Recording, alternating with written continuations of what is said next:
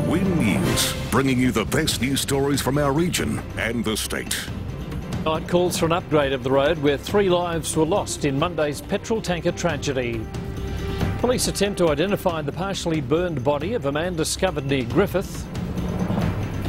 And New Year's Eve revellers told to behave or face the consequences.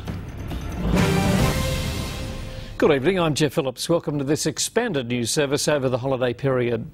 The New South Wales opposition has blasted the government's maintenance of the Princes Highway in the wake of Monday's horrific tanker crash which killed three people.